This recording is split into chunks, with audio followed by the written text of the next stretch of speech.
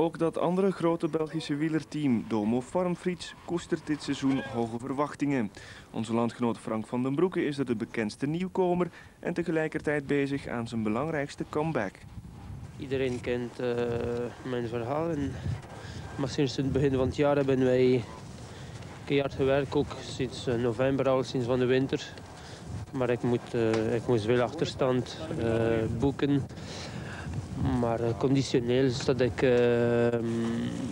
kan niet zeggen, ik kan zelf iets niet forceren, maar ik hoop wel in de finale mee te spelen met de beste.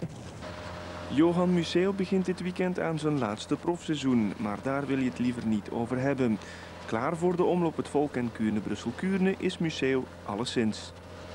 Ik zou graag nog iets winnen, maar uh, wat het is, dat, dat kun je niet voorspellen in de sport.